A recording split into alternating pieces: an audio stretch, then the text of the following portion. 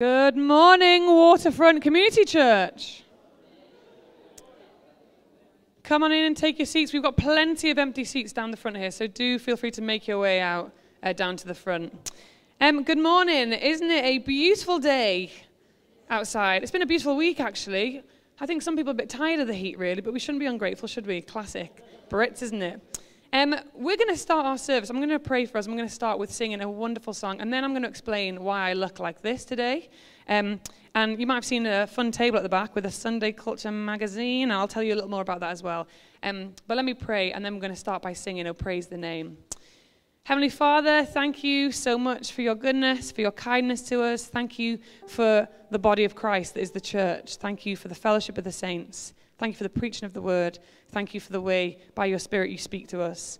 And so do so today, I pray. Would we know your presence among us? Would we know you speaking to us today? Um, and would we want to live our lives um, to glorify you as a result of um, what we learn and how we uh, are fed today? Um, hear our songs of praise now as well. We pray in Jesus' name. Amen. Let's stand and sing, shall we?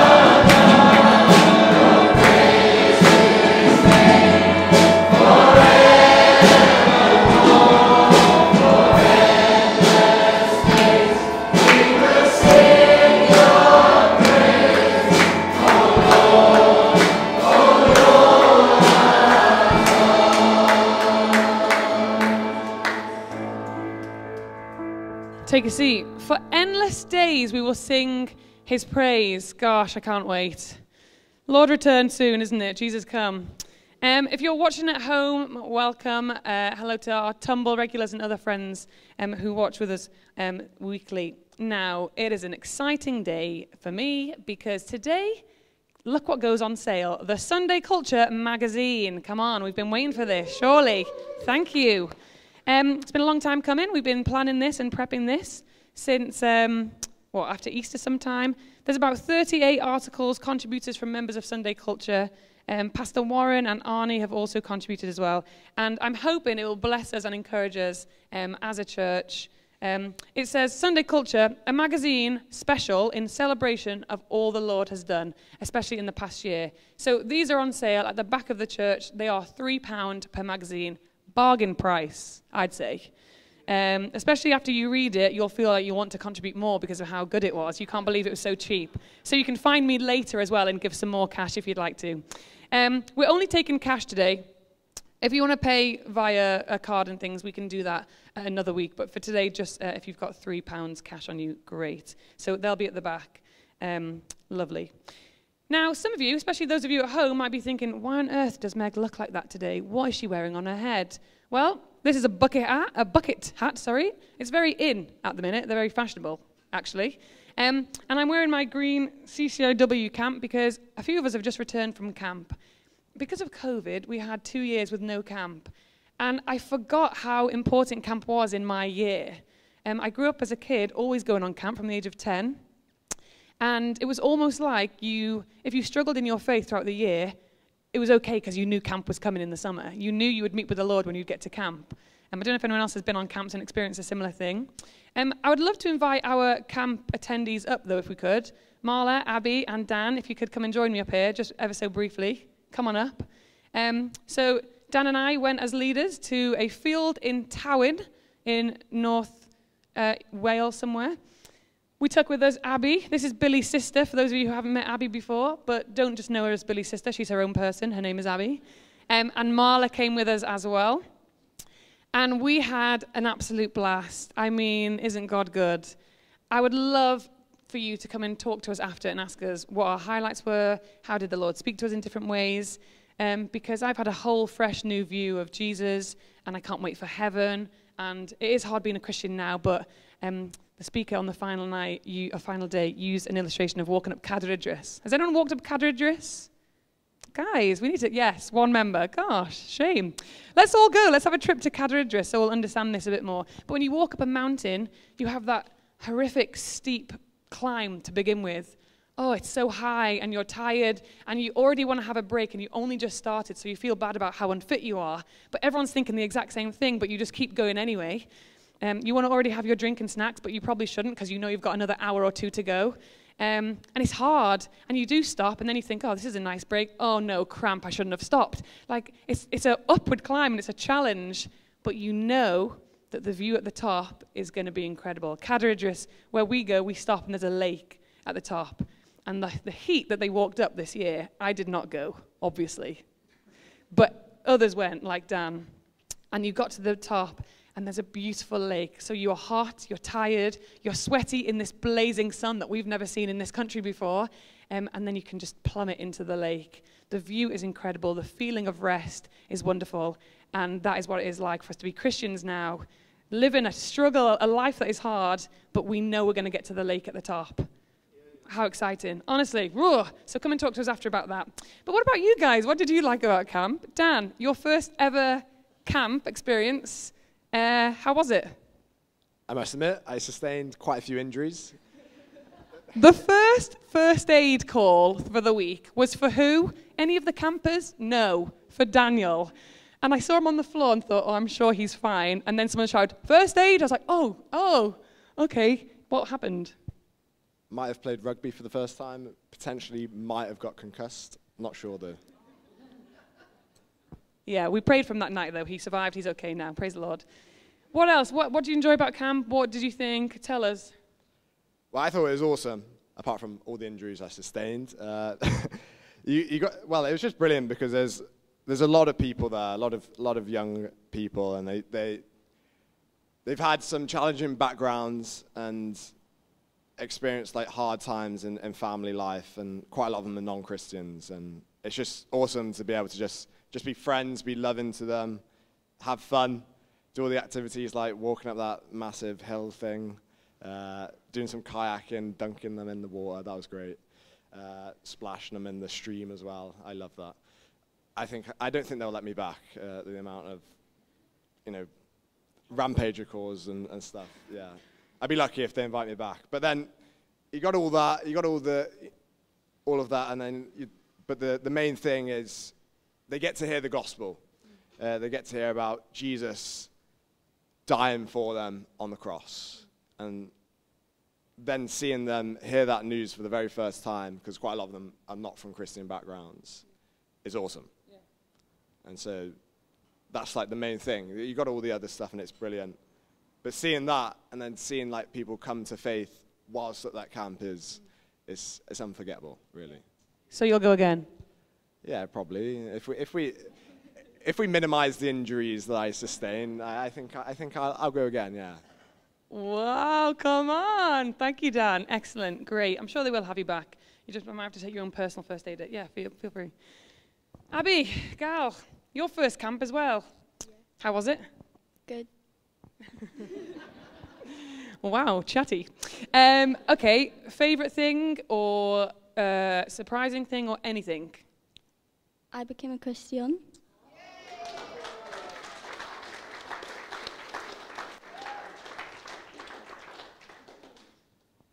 She didn't tell me that that week. And I made cool bracelets. Great as well. Excellent. I'm wearing one as well. Excellent. That is a cool bracelet. Gosh, why do you tell me that now on stage? That's so bad. Okay, Mol, I'm going to hand you the mic for a second. You have to take over. Thank you, Abby. Um, tell me, speak about camp for a minute. I'm just going to cry for a second and then get over that, and then you go.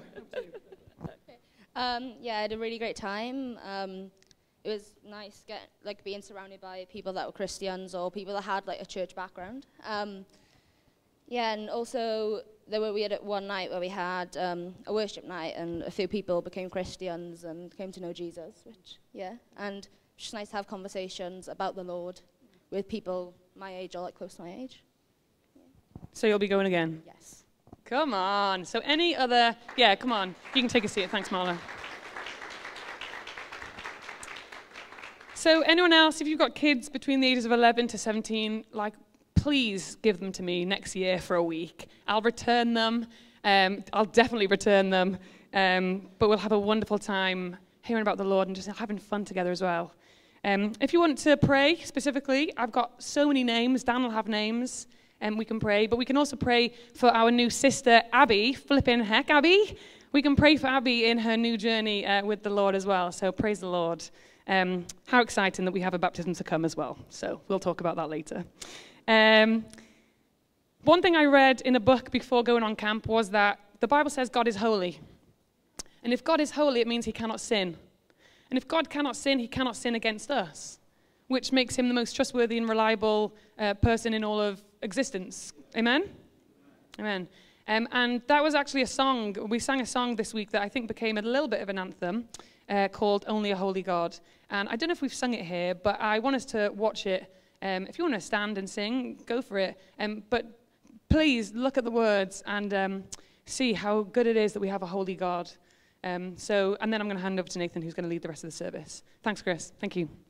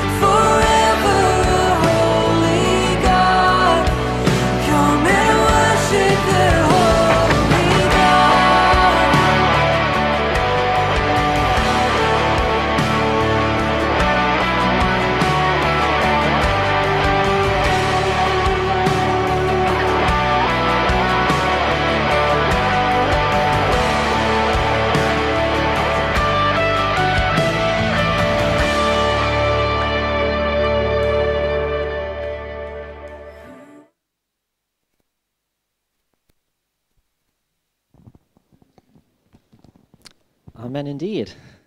Isn't God great? He loves children, He loves each and every one of us. Um, before I go into the announcements, I just want to share something.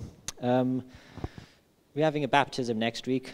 Arnie is going to go into that a bit later, um, so it'd be more appropriate to mention it now. In 10 days' time will be the 1943rd anniversary of the eruption of Mount Vesuvius. It happened in August the 24th, 79 AD. Um, so it happened in the morning, all of a sudden, nobody was expecting it, and thousands of people tragically lost their lives as the towns of Pompeii and the surrounding re- regions were decimated, essentially. It's very sad.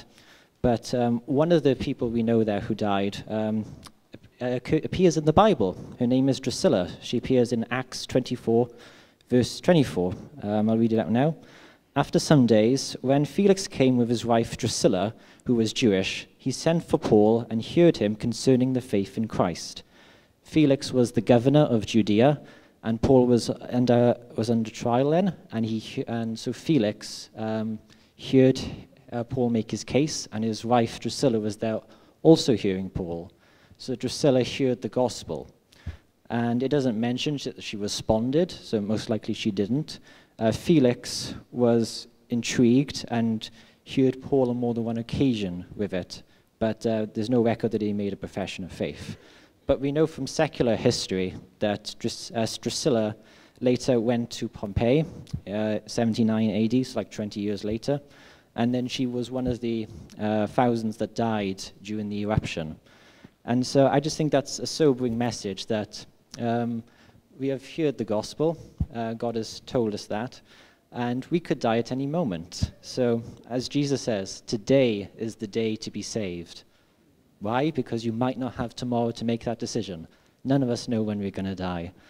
And for those of us who are Christians who know the Lord, um, as it says in Ephesians, um, let us redeem the time, or let us make the most of our time, because all of our time belongs to God. It's not our time. So let us make the most of it by serving Him to do things that will have eternal consequences and eternal inheritance, rather than doing things which will just be vain and will perish away. So um, that's a bit of history for you. Uh, hope you enjoyed that, and uh, I hope you take the message to heart. So, a few announcements. Um, we're going to be selling uh, Billy coffee uh, after the service. Um, um, so Billy uh, is going to be one of our members here. Is going to be um, working for UCCF uh, next year from September onwards. UCCF is a Christian charity that works with Christian unions uh, throughout uh, the UK in different universities and colleges. And so he's going to be encouraging the Christians there with their faith and walk with the Lord and with evangelism, reaching non Christian students. And he's going to be doing that full time and it's entirely uh, self funded. So, as part of the fundraising, we want to support Billy. He's going to be selling his uh, own coffee after the service. As it's going to cost one pound. So, if you want to support him, yeah, please buy some coffee and enjoy it. It's quite tasty. We are also going to be selling our own church coffee, which is for free, but it's foul. So just please, for your own safety and health, don't drink it. um, excellent. So Arnie is going to come up now and talk about the baptismal service next Sunday. And then straight afterwards, Alison is going to come up and give a prophetic word or picture. And then Keith will give us the prayer, and then we'll have a time of worship together. Thank you.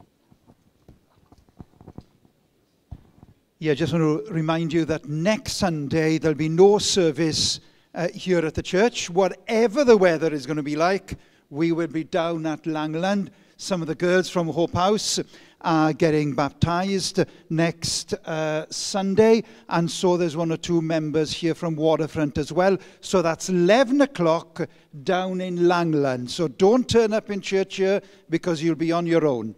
But 11 o'clock, come rain, sun, sleet, or snow, we will be there next Sunday. Thank you.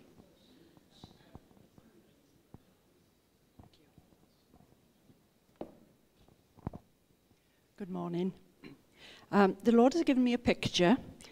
It's of a person standing at the entrance to a valley.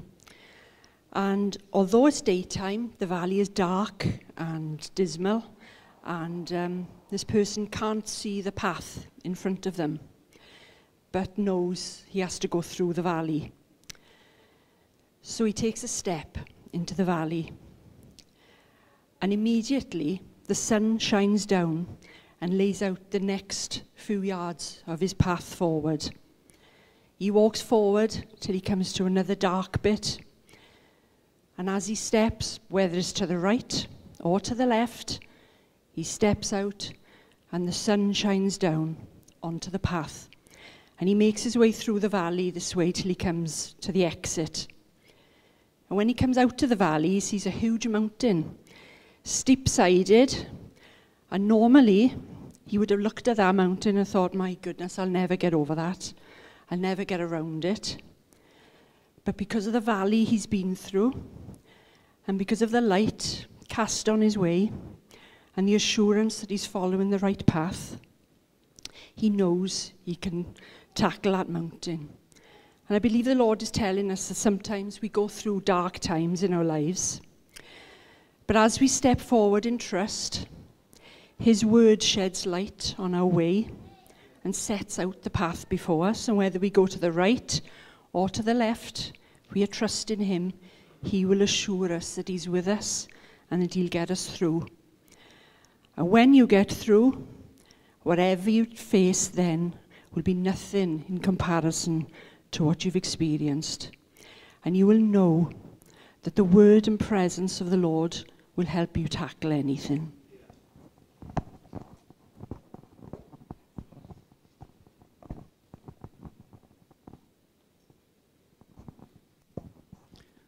Let's pray. Heavenly Father, we thank you, Lord, that we can be found in your house today. We thank you, Lord, you've been with us all week. Lord, but we come today to praise your holy, wonderful name. We praise you, Lord, for the work you've done in our lives and the continuing work that you're going to be doing, in, Lord. Lord, we know we can trust in you for everything. So, Lord, we ask now that you come meet us by the power of your Spirit. Touch us in a way, Lord, which we haven't been touched before. You know every one of our needs, Lord. You know where we are. We ask you to touch us now.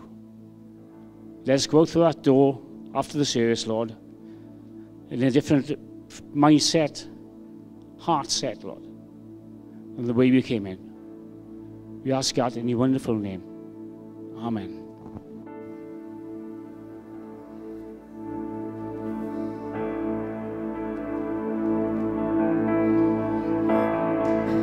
Feel free to worship God, expressing your worship to Him as you feel is appropriate.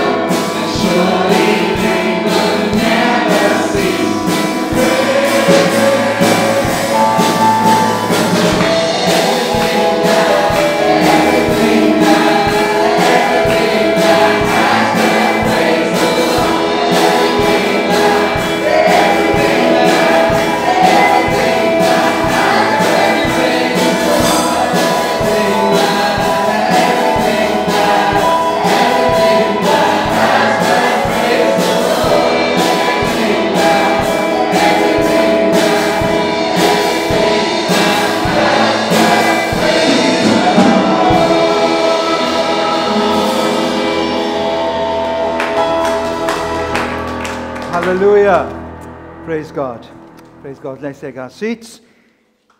Great to be in God's house this morning, isn't it?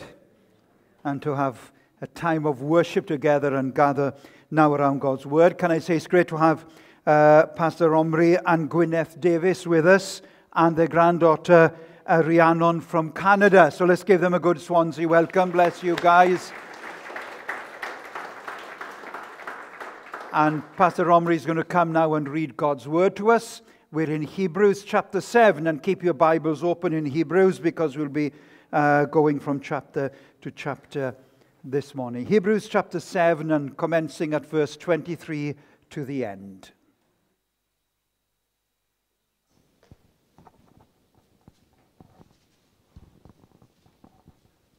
Uh, good morning. It's fatal for an apostolic pastor went on holiday to go to an apostolic church. You're going to be asked to, to work. so, Hebrews chapter 7, commencing to read at verse 23.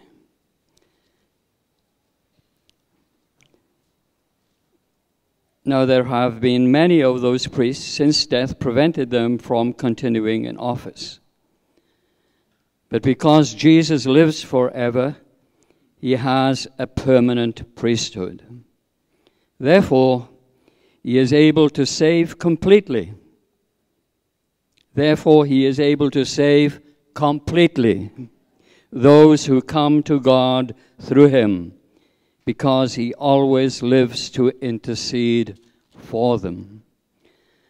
Such a high priest meets our need one who is holy, blameless, pure, set apart from sinners, exalted above the heavens. Unlike the other priests, he does not need to offer sacrifices day after day first for his own sins and then for the sins of the people. He sacrificed for their sins once for all when he offered himself. Amen. He sacrificed for their sins once for all when he offered himself. For the law appoints a high priest men who are weak, but the oath which came after the law appointed the Son who has been made perfect forever. May the Lord bless his word. Amen. Thank you, Omri, for reading that passage to us. This morning, the title of my message is Jesus, our great high priest. Well, first of all, what is a priest? Well, a priest is someone who represents the people before God. In the Old Testament, we had the priests who represented the people before God by offering sacrifices and praying on their behalf.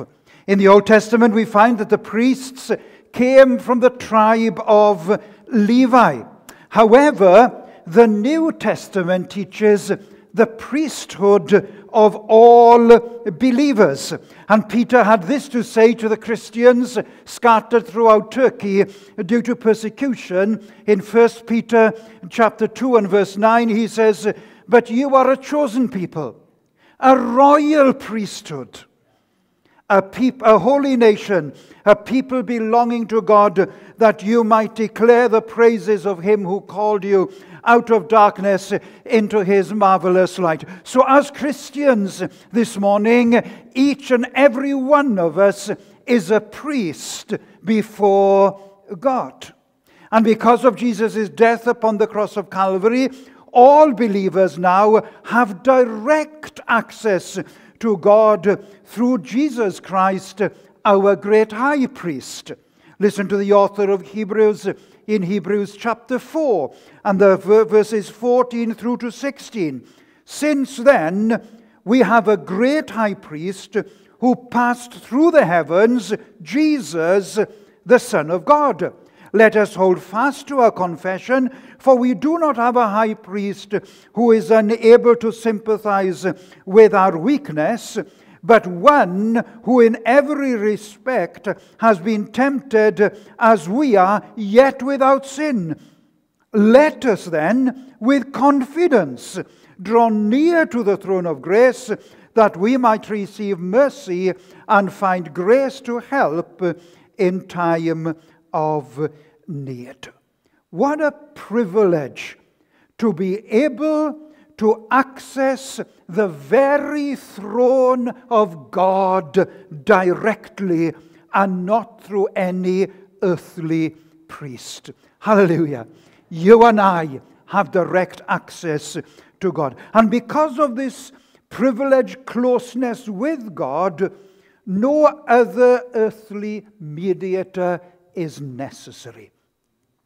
As priests of the living God, we are all to give praise to the one who has given us the great gift of his son's sacrifice on our behalf. And in response, as we have heard from Nathan this morning, to share this wonderful grace with others. As believer priests, the author of Hebrews has this to say to us in Hebrews chapter 3 and verse 1. He says, Fix your thoughts on Jesus, the apostle and high priest whom we confess. Here we have Jesus referred to as our high priest. We are priests because of his sacrifice, but he is our high priest. Now, what is a high priest? Well, here's a picture of what a high priest would have looked like in the days of Jesus. So he would have been robed in all his finery. And the chief or the high priest supervised the priests. He was the one that offered a sin offering on that great day of atonement. The high priest was the only one from among the priests who could enter within the veil into the Holy of Holies, and even he could only do so once a year on that notable day when he would carry with him a bowl containing the blood of the sacrificial animal and sprinkling it on the mercy seat, he would make atonement for the priests and the people. And the author of Hebrews calls you and me this morning to consider Jesus our high priest. And in my message this morning, this is what I want us to do is to pause and consider Jesus our high priest. Because you see, Jesus entered heaven itself with his own blood, thus making atonement for the sins of the whole human race once and for all time. And his blood had saving significance for sin, not just for a 12 month, like the blood of the sacrificial animal, but forever. And listen again to what the author of Hebrews tells us. Forward to chapter 9 and verses 11 to 12, he says, When Christ came as high priest of the good things that are already here, he went through the greater and more perfect tabernacle that is not man made, that is to say, not a part of this creation. He did not enter by the means of the blood of goats and calves, but he entered the most holy place once and for all by his own blood, having obtained eternal redemption once was enough. His blood was sufficient to take away the sins of the world. This is Jesus, and this this morning is my high priest. Let me quickly share with you, let us consider then seven exciting things about our high priest. First of all, I want you to note from the Bible that Jesus is a high priest appointed by God. Although Jesus never served as a priest in the physical temple in Jerusalem, he nevertheless was appointed by God the Father to be our great high priest in heaven.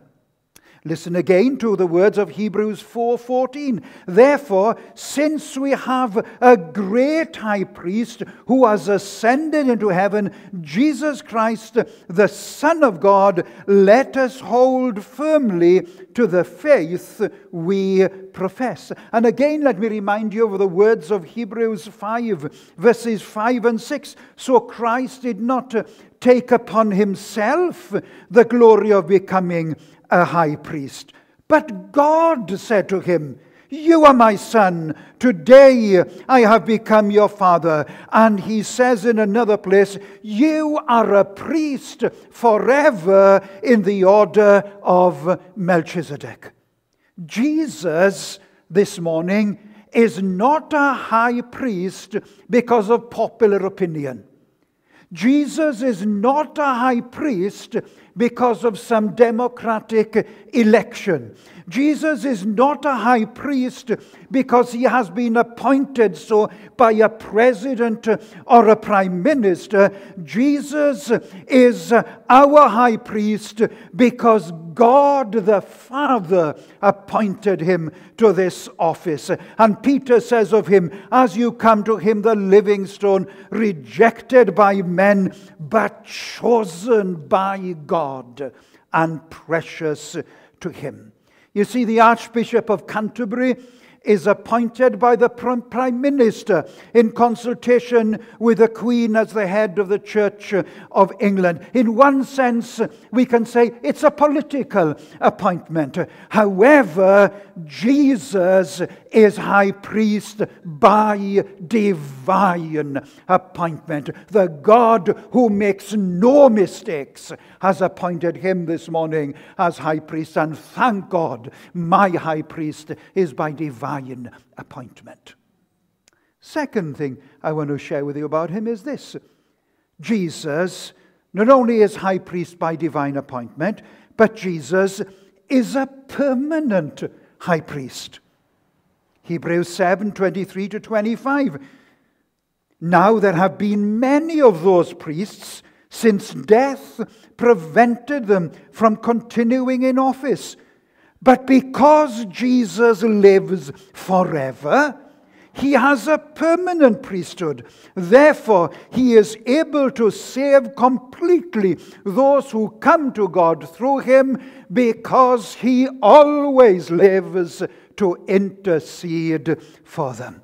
You see, high priests of the old order served for a period of office, and at death they ceased to minister and perform their religious duties. Another from the uh, among the priesthood had to come and be appointed in his place to that office. Priests came and went. The high priest was appointed, and then death overtook him. But my Jesus is a high priest forever and forever and forever. In this earth of ours, we come and we go. And uh, if you were to ask the Israelites today who was the high priest at a certain point in time, they wouldn't be able to name him for you. The same when the day will come very shortly when people won't know who I am. And I've been the pastor here now for almost 25 years. But in months after my retirement, I would have been forgotten. Mark Davis was associate pastor with me here uh, for almost 20 years, and he moved away in retirement during COVID. And some may say, Mark, who? We come and we go. But thank God there is a man up in the glory. I have a high priest, and in a million years from now, should he tarry, he will still be the great high priest. And Jesus' name it will still be on the lips of men and women, and history will record for us that there was a Jesus and that there is a Jesus. Jesus, our great high priests, high priest hold this office permanently. He lives forever and is in no way threatened by death because he has triumphed over death, over hell, and over the grave. He has been victorious over death and has destroyed Satan.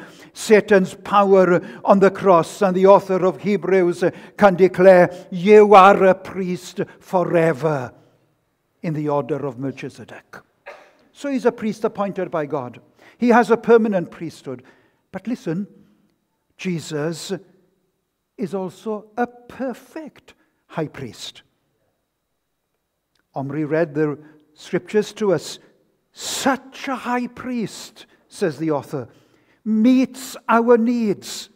One who is holy, blameless, pure, set apart apart from sinners, exalted above the heavens. Unlike the other high priests, he does not need to offer sacrifices day after day, first for his own sins and then for the sins of the people. He sacrificed for their sins once and for all when he offered himself. For the law appoints as high priests men who are weak but the oath which came after the law appointed the Son who has been made perfect forever.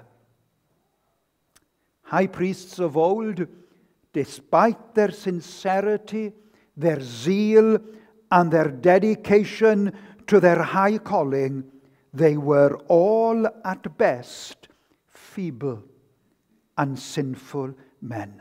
They had their faults and their failings their weaknesses and their personal defects. Jesus, as our great high priest, however, was tempted in all points just like us and every high priest before him, but not once did he yield to temptation. The high priests of old ministered out of human weaknesses and limitations. Jesus, on the other hand, ministered out of omnipotence. Jesus, our great high priest, is holy, is blameless, is pure, is set apart from sinners, is exalted above the heavens. Our high priest, the author of Hebrews says with confidence, such a high priest meets our need. All that you and I ever need is found in Jesus. He is perfection. Thank God this morning I know him. Thank God for this wonderful high priest that we have. But not only is he perfect, but Jesus is the high priest that offers a sacrifice which never needs repeating. Listen to Hebrews 7:27. Unlike the other priests, high priests, he does not need to offer sacrifices day after day first for his own sins and then for the sins of the people. He sacrificed for their sins once and for all when he offered himself. Hebrews 9:12 He did not enter by means of the blood of goats and calves but he entered the most holy place once and for all by his own blood having obtained eternal redemption. The high priests of old had to offer day after day the same sacrifice which could never take away sin. On the day of atonement, he had to offer up sacrifices for himself, for the priests, and for the people. And this would go on year in and year out, day in and day out. There would be sacrifices at the temple. And the author of Hebrews says that day after day the priests stood and offered oftentimes the same sacrifice which could never take away sin. But he goes on to say of Jesus, but this priest, after he had offered one sacrifice for sins forever, sat down at the right hand of God. Why? Because his work was finished. The priest had to stand because he, his work never came to an end. But Jesus could take his seat because once and for all he had paid the price with his own blood for your sins and for mine. And his sacrifice was sufficient. It met the demands of a thrice holy God for sin, and it was a perfect sacrifice and therefore never needs repeating. You see, the sacrifices of the old order was but a covering for sin. Every year they had to go through the same ritual, but Jesus Christ's sacrifice took away sin. Hence, uh, the, the John the Baptist, when he saw Jesus coming to be baptized in the Jordan, could point at him and say, Behold, the Lamb of God, which takes away the sin of the world. And my friend, your sin and my sin has been dealt with once and for all at Calvary. And with bliss I rejoice and can sing this morning, my sin, oh, the bliss of the glorious thought, my sin not in part, but the whole is nailed to his cross, and I bear it no more. Praise the Lord, praise the Lord, oh my soul. Thank God for Jesus and his once and for all sacrifice for your sin and for mine. And then the other thing I want to remind you of Jesus as our high priest is this Jesus is a high priest who gives us continuous access to God. Hebrews 10, verses 19 through to 22. Therefore, brothers, since we have confidence to enter the most holy place by the blood of Jesus, by a new and living way, opened to us or for us through the curtain, that is, the, that is his body. And since we have a great high priest over the house of God, let us draw near to God with a sincere heart, full of assurance of faith, having our hearts sprinkled to cleanse us from guilty conscience, and having our bodies washed with pure water. You see, under the old order, the high priest could only enter within the veil once a year. And for any other to enter, it meant certain death.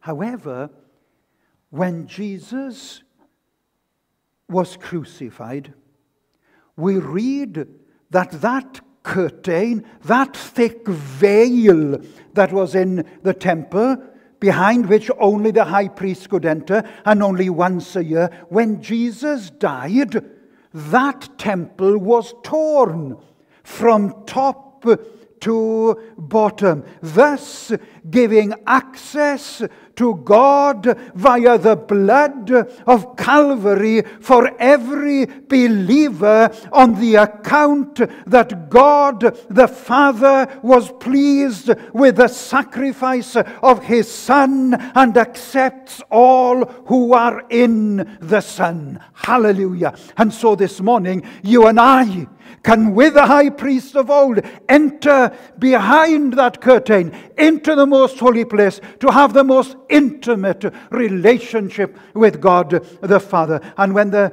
curtain of the temple was torn into, Spurgeon, the great Baptist preacher, said, Not a small tear, not a small hole, but big enough, he said, for the worst of sinners to enter in. And thank God, this worst of sinners has entered within the veil, and I can have communion with Abba Father this morning because of Jesus.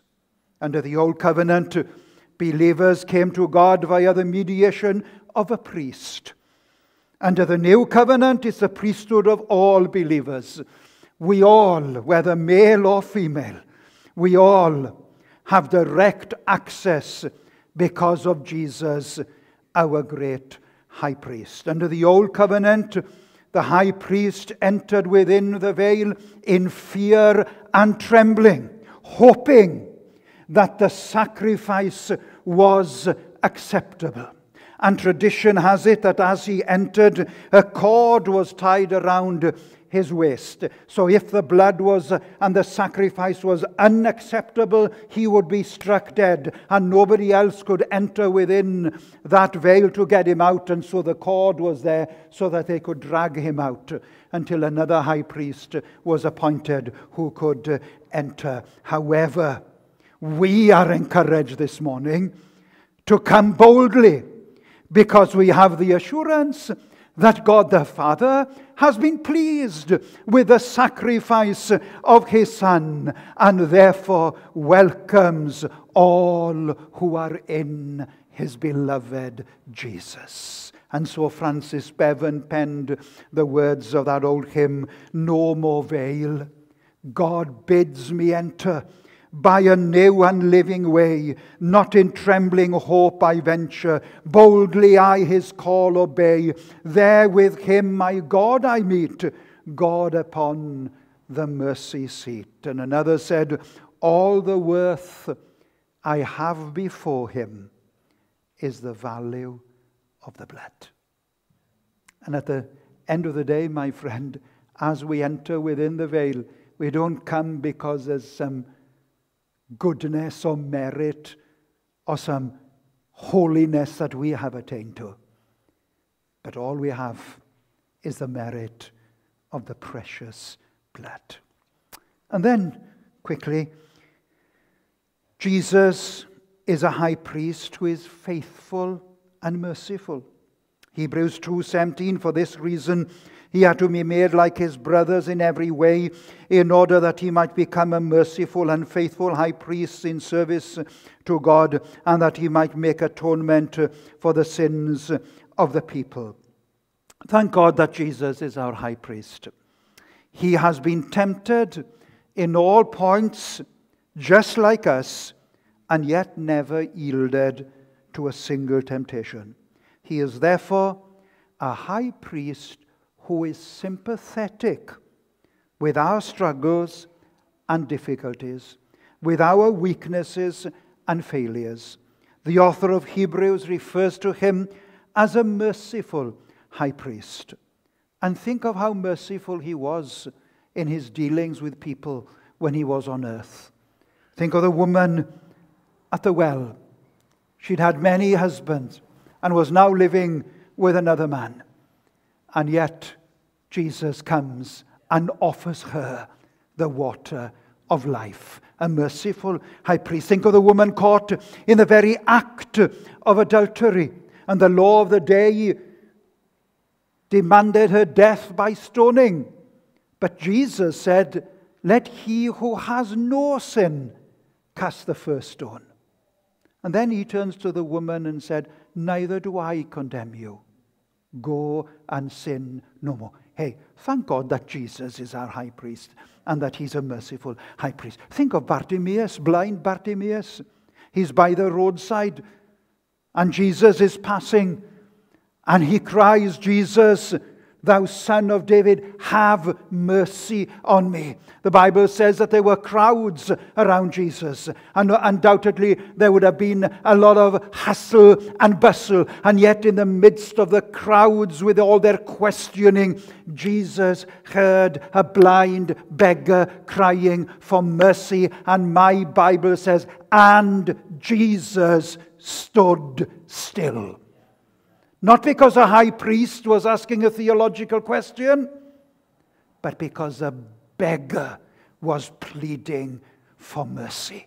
And I remember the late Pastor Tom Saunders preaching on that particular uh, a passage, uh, and he said that uh, when a sinner cries for mercy, heaven itself, itself stands still. And if you're listening this morning, whether here or at home, and you're not a Christian, cry to God for mercy. And listen, the great high priest will hear that faint cry of yours, despite all the noise of the praise in glory and the cherubs and the seraphs crying, Holy, holy, holy is the Lord God of Almighty. In through all that crescendo of praise, the great high priest will hear your whisper for mercy. Thank God that Jesus is our great high priest. He's also a faithful high priest. He is always the same. He's dependable. He is there for us, will never let us down, will never leave us or forsake us. You see, the high priests of time have their disappointments in us, become aware of our faults and our failings, and after a while they'll write us off. But listen, Jesus Never. Because he is a faithful and a merciful high priest. And then my time has gone quickly to close.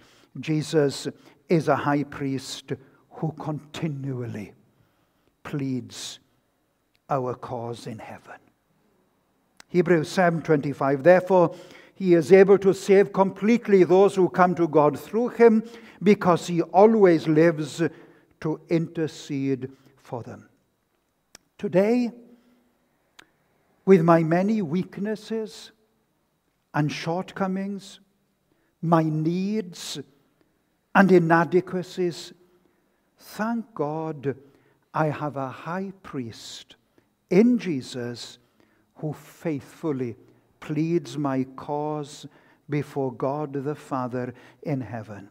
Paul told Timothy, For there is one God and one mediator between God and man, the man Christ Jesus.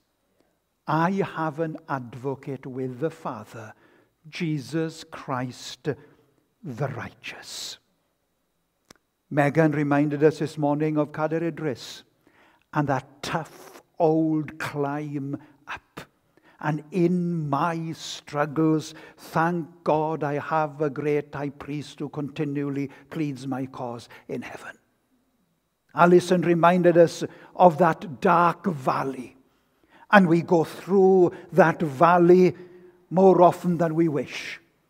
But thank God in the valley, I have a great high priest who pleads my cause in heaven. Yes, Jesus pleads for us in heaven by his own blood. He has entered once into the holiest, there to appear in the presence of God for us.